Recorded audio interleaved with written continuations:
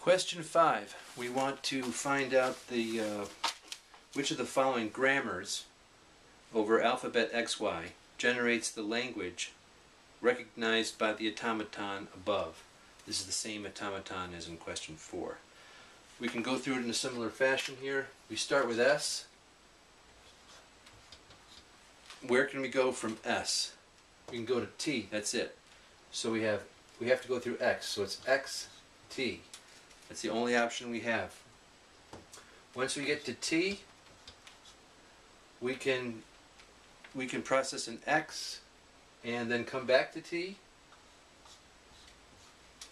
Or we can process an X and go to U. Or we can process a Y and go to U. Those are the only options from T.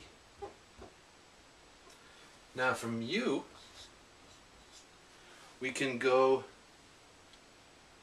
process a Y and then go back to U again.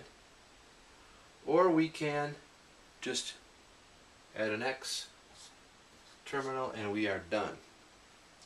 You will see that this solution here is B on the answer sheet. So the answer to question 5 is B.